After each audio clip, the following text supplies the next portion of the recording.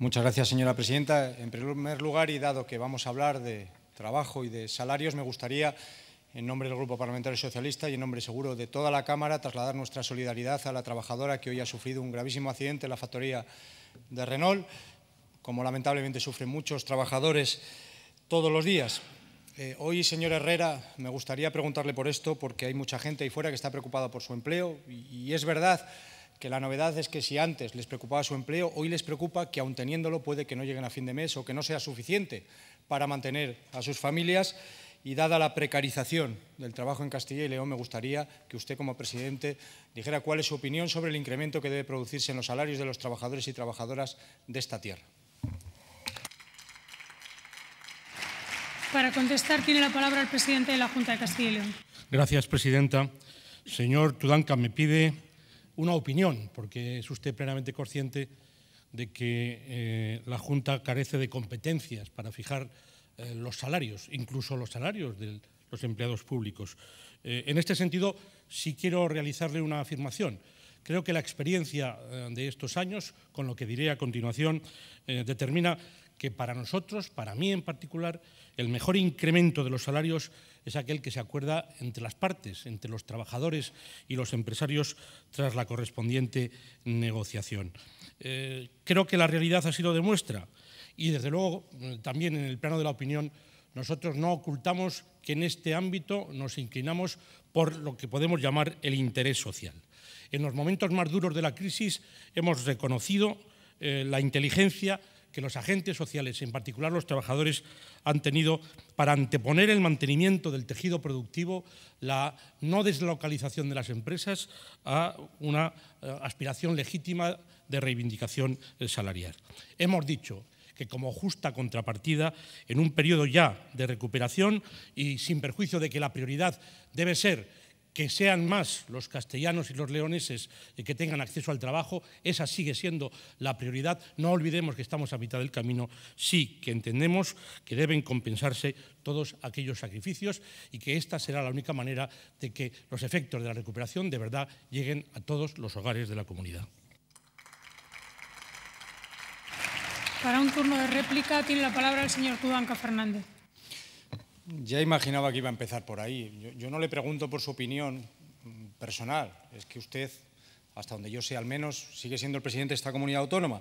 Y ahora que se ha sacudido el agosto y le ha dado por volver a esa ronda de visitas por las empresas de Castilla y León, me parecía oportuno hacerle esta pregunta porque ustedes presumen permanentemente de la milagrosa recuperación económica que ha logrado el Partido Popular.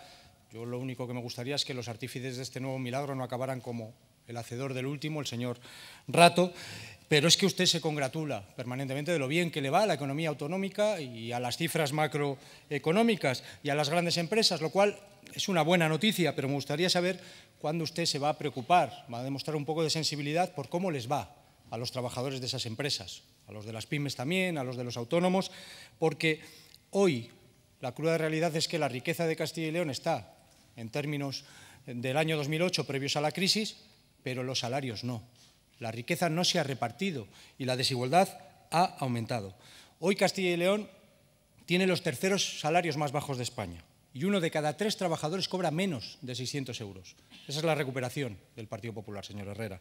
Hoy el 10% de los que más cobran han visto como durante la crisis se le incrementaban los salarios un 15% y el 10% de los que menos cobran, de los trabajadores que menos cobran, le reducían los salarios un 18%. Es decir, más desigualdad, esta es la recuperación económica del Partido Popular, señor Herrera. Hoy en Castilla y León sigue habiendo 570.000 personas en riesgo de exclusión social. Esta es su recuperación, señor Herrera.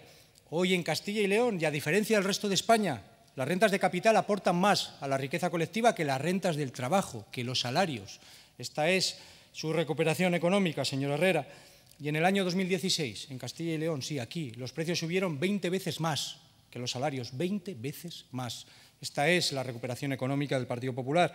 Y con esta recuperación económica los ricos son más ricos y los pobres cada vez más pobres. Esta es su recuperación económica y no se produce por casualidad. Usted dice, es de los sindicatos, es de los empresarios, claro, pero es que su reforma laboral ha hecho que los sindicatos, los trabajadores, tengan cada vez menos derechos y cada vez más, menos poder de negociación porque les han quitado la negociación colectiva. Esto es la consecuencia de su política laboral, fiscal, social.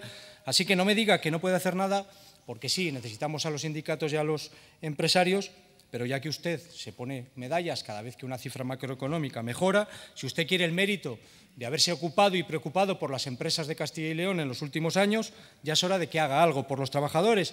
Por eso le pido que usted también ayude a impulsar un pacto de rentas en nuestro país que haga que el salario mínimo interprofesional llegue a los 1.000 euros en el año 2020, que haga que los salarios de los trabajadores se incrementen un 2,5% el año que viene y un 3% los años sucesivos, que hagamos un nuevo estatuto de los trabajadores que vuelva a equilibrar la relación entre trabajadores, entre sindicatos y empresarios y permita recuperar los derechos, que haya una ley de igualdad laboral que acabe con la brecha salarial entre mujeres y hombres, que es de más del 25% aquí, en Castilla y León, señor Herrera, no habrá recuperación económica si no hay empleo digno y salarios dignos. Y usted tiene una responsabilidad como presidente de la Junta, lo quiera ver o no. Así que no diga que esto no es cosa suya, porque todo lo que sucede en Castilla y León nos afecta. Es competencia nuestra. Vamos a darle una buena noticia a los trabajadores de esta tierra, señor Herrera. Digámosle juntos que vamos a trabajar por mejorar sus salarios y hacer más dignos sus empleos. Muchas gracias. Gracias. Para un turno de dúplica, el presidente de la Junta de Castilla. Gracias, presidenta. Señor Tudanca, porque no nos ponemos ningún tipo de medalla, me ha escuchado usted a mí y hace muchos años decir, cuando ya comenzaban los datos macro a apuntar una posible salida a la crisis, que no podríamos hablar verdaderamente de recuperación mientras esta no se tradujera en empleo.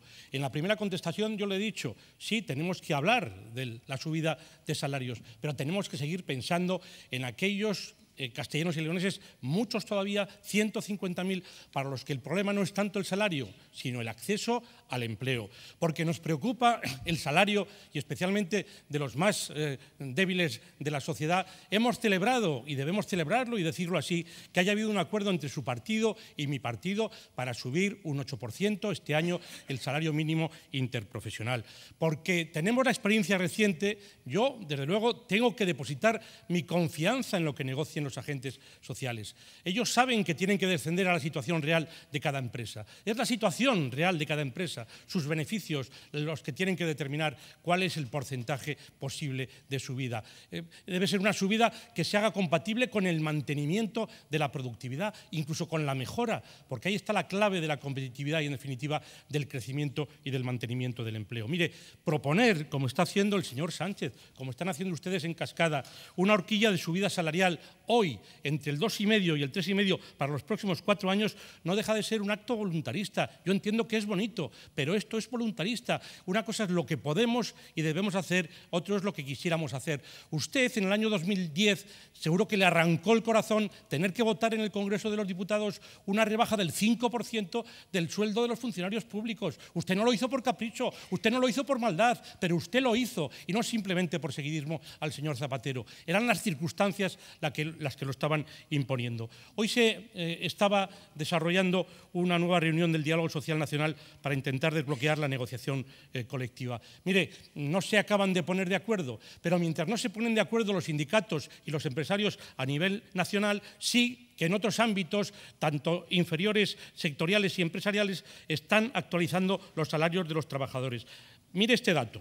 Según los datos del Ministerio de Empleo, en la primera mitad del año se firmaron casi 2.500 convenios en España, de los que el 75% ha incluido una subida salarial inferior al 1,5%. Usted sabe también en nuestra comunidad, usted sabe lo que, lo que se tardó y lo que costó firmar, por ejemplo, un convenio tan especial como es el convenio del metal en una provincia industrializada como Burgos, y sabe cuáles son los datos, saben cuáles son las cifras. Esa es la realidad.